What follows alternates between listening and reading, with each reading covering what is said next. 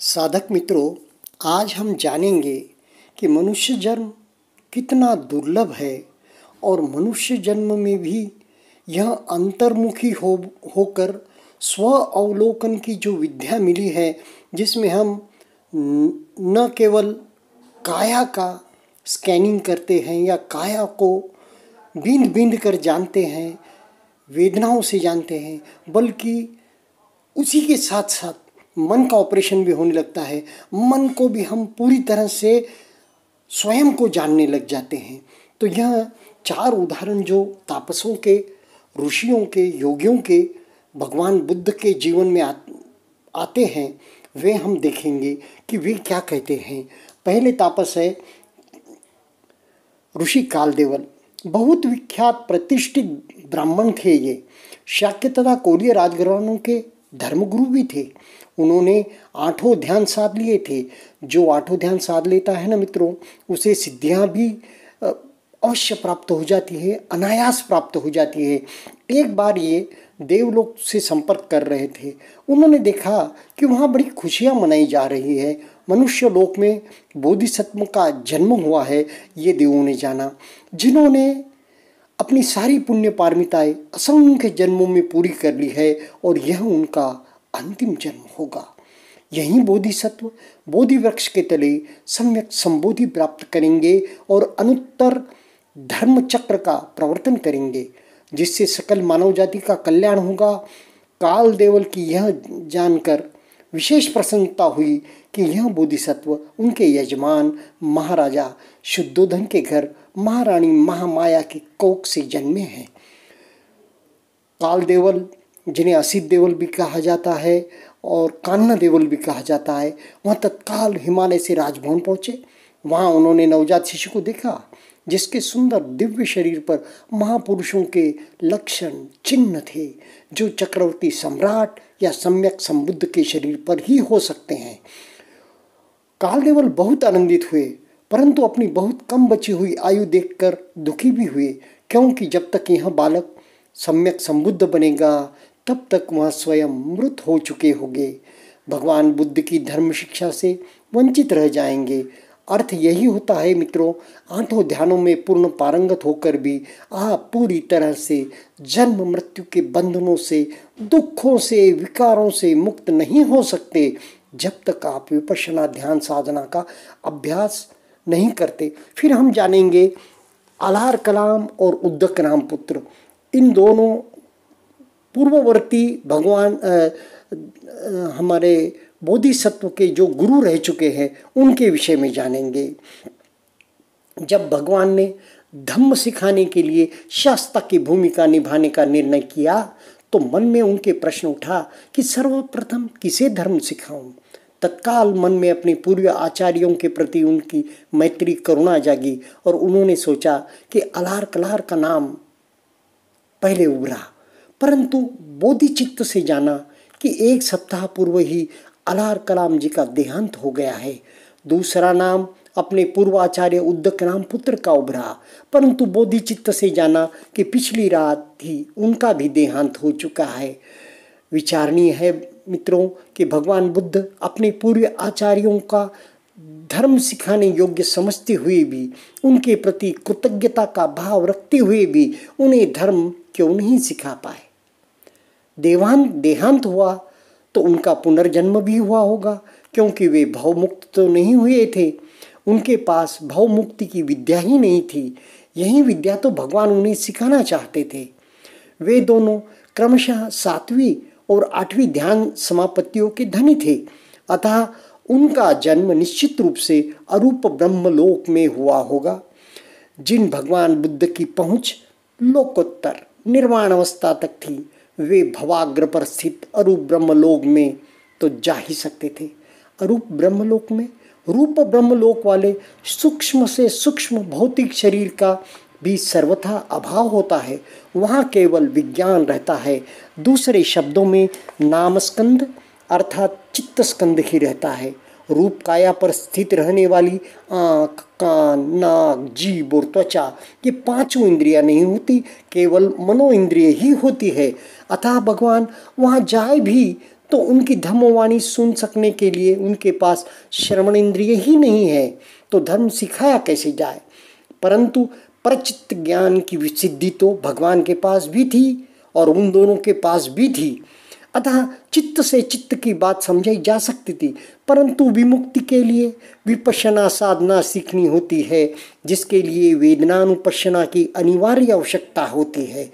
क्योंकि साधक पहले वेदना, पच्चया तणहा की अनुभूति करे और उसके समुदय व्यय धर्मा स्वभाव को संप्रज्ञान से जाने।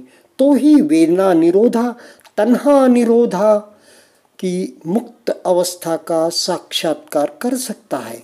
उन्हों, उन्हें मनोसंपत्सजा वेदना की तो अनुभूति हो सकती थी, परंतु वेदना के परिज्ञान अर्थात परिपूर्ण ज्ञान के लिए काया संपसज्जा वेदना यानी नाम और रूप दोनों से संबंधित वेदनाओं की अनुभूति होनी आवश्यक होती थी। जो अरूप ब्रह्मलोक के निवासियों के लिए असंभव थी। अतः चाहते हुए भी भगवान अपने दोनों पूर्व आचार्यों की ऋण अदायगी नहीं कर सकते थे।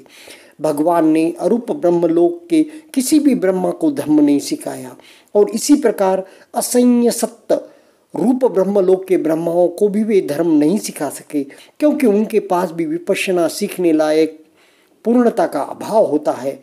उनके पास केवल रूप या भौतिक शरीर होता है, परंतु नाम या चित्त नहीं होता। अतः इस लोक के प्राणी भी भगवान की शिक्षा से पूर्णतः वंचित रह गए। इन्हें छोड़कर अन्य रूप ब्रह्म लोकों को, अनेक ब्रह्माओं को उनकी शिक्षा का लाभ मिला। और मानव जाति को तो विशेष सुविधा है। मानव जन्म ही ऐसा है कि जहाँ नाम और रूप, दोनों चित्त और काया मन और शरीर दोनों एक साथ उपलब्ध है। अब हम जानेंगे बाह्य दारू चिड़िए की, जिन्होंने आठों ध्यान में पारंगत होते हुए भी जाना कि वे मुक्ति के नज़दीक नहीं गए हैं तो उन्होंने ऐसे व्यक्ति की खोज की, ऐसे साधक की, ऐसे सिद्ध की, ऐसे सम्यक संबुद्ध की खोज की कि जो उन्हें मुक्ति की ओर ले जा सके। सुनिए वो कथा। उन दिनों के सुपारक पत्तन यानी सुपारक बंदरगाह, आज की बम्बई महानगरी के समीप मुंबई के समीप नल्ला सुपारक गाँव में एक वयोवृद्ध सन्यासी रहता था। वह वलकल अर्थात पेड़ की छाल का वस्त्र पहनता था, अथा उसका नाम दारू चिड़िए पड़ गया। दारू यानी कि वृक्ष चिड़िए यानी कि चीर चीर यानी कि वस्त्र। उसने सुना कि लोक में अरहंत सम्यक संबुद्ध उत्पन्न हुए हैं। वे श्रावस्ती में विहार कर रहे हैं। वे अरहंत मार्ग का उपदेश भी देते हैं। यह सुनकर उसके मन में अपूर्व धम्म संवेग जागा। वह भगवान के दर्शन के लिए आतुर हो उठा और तत्काल श्रावस्त्री के लिए चल पड़ा। शीघ्र पहुँचने की आतुरता में वह रास्ते में बहुत कम विश्राम कर पाया। जब श्रावस्ती के जेतवन विहार में पहुँचा तो पता चला कि भगवान भिक्षाटन के लिए नगर की ओर गए हैं। यह वह तुरंत नगर की ओर चल दिया। वहाँ नगर विथी में उसने भगवान को भिक्षाचारिका करते देखा।